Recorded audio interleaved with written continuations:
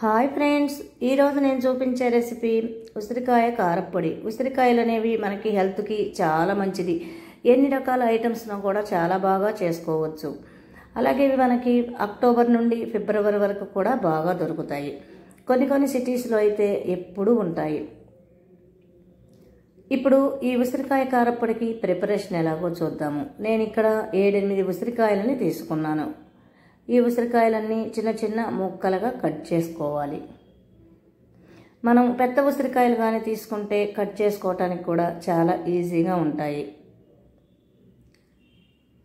అలా ఈ ముక్కలన్నీ కట్ చేసి పక్కన పెట్టుకున్న తర్వాత స్టవ్ పైన ఒక ప్యాన్ ఉంచి స్టవ్ ఆన్ చేసి ప్యాన్ హీట్ ఎక్కగానే మనం కట్ చేసి ఉంచుకున్న ఉసిరికాయ ముక్కలని యాడ్ చేసుకోవాలి. ఈ ఉసిరికాయ ముక్కలన్నీ దాదాపుగా ఒక కప్పు వరకు వచ్చాయి. ఫ్లేమ్ మీడియంలోకి అడ్జస్ట్ చేసుకొని ఉసిరికాయ ముక్కలని మొత్తాన్ని ఫ్రై చేసుకోవాలి. ఇవన్నీ బాగా ఫ్రై చేసుకోవాలి.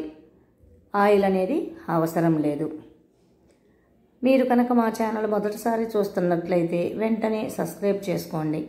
మరిన్ని వెరైటీ వీడియోస్ కోసం ప్రక్కనే ఉన్న బెల్ ఐకాన్ యాక్టివేట్ చేస్తే ఎప్పటికప్పుడు అప్డేట్స్ అవైలబుల్లో ఉంటాయి.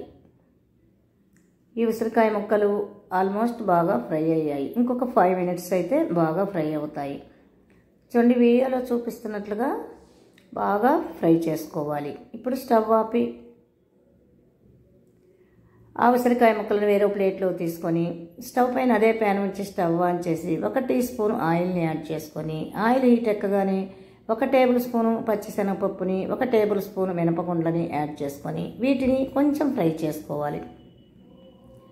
ఇవి కొంచెం ఫ్రై అయిన తర్వాత ఒక టేబుల్ స్పూను ధనియాలు టేబుల్ స్పూను జీలకర్రని యాడ్ చేసుకోవాలి.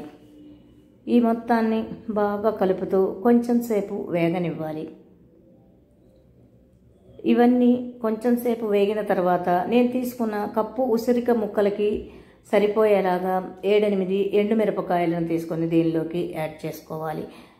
ఇక్కడ మనం తీసుకున్న ఉసిరికాయ ముక్కలను బట్టి కారాన్ని అడ్జస్ట్ చేసుకోవాలి. ఈ మొత్తాన్ని కలుపుతూ బాగా ఫ్రై చేసుకోవాలి.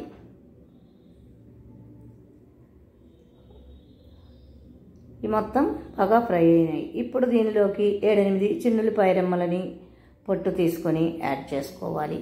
అలాగే చాలా కొంచెంగా చింతపండుని కూడా యాడ్ చేసుకోవాలి. ఒక రెండు రెమ్మలైతే సరిపోతుంది. మనకి ఉసిరికాయ అనేది బాగా పుల్లగానే ఉంటుంది. కొంచెం ఒగరు వచ్చి గొంతు పట్టుకుంటూ ఉంటుంది తినేటప్పుడు. కొంచెం చింతపండుని కానీ యాడ్ చేసుకుంటే చాలా టేస్ట్గా ఉంటుంది కారప్పొడి అనేది. ఈ మొత్తాన్ని కూడా బాగా ఫ్రై చేసుకోవాలి. ఇప్పుడు మొత్తం వేగినవి. అలాగే ఒక పావు టీ స్పూను ఇంగువని యాడ్ చేసుకొని ఒకసారి బాగా మిక్స్ చేసుకోవాలి.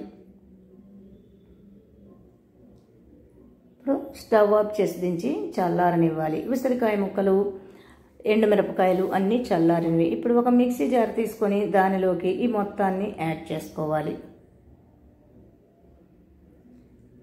అలాగే టేస్ట్కి సరిపడా సాల్ట్ని యాడ్ చేసుకోవాలి. ఇప్పుడు మొత్తం మిక్సీ వేసుకోవాలి. చక్కగా బాగా నలిగింది. మనకి ఉసిరికాయ కారప్పొడి రెడీ అయింది. ఎంతో హెల్దీ అండ్ టేస్టీగా ఉండే ఉసిరికాయ కారప్పొడి రెడీ అయింది. దీన్ని గాజు బాటిల్లో నిల్వ ఉంచుకొని ఎప్పుడు కావాలంటే అప్పుడు యూజ్ చేసుకోవచ్చు. రైసు అలాగే టిఫిన్ ఐటమ్స్ ఇడ్లీ దోశలోకి చాలా బాగుంటుంది. వేడి వేడి అన్నంలో ఈ ఉసిరికాయ కారప్పొడిని వేసుకొని నెయ్యి వేసుకొని తింటే ఎంతో బాగుంటుంది. Thank you for watching.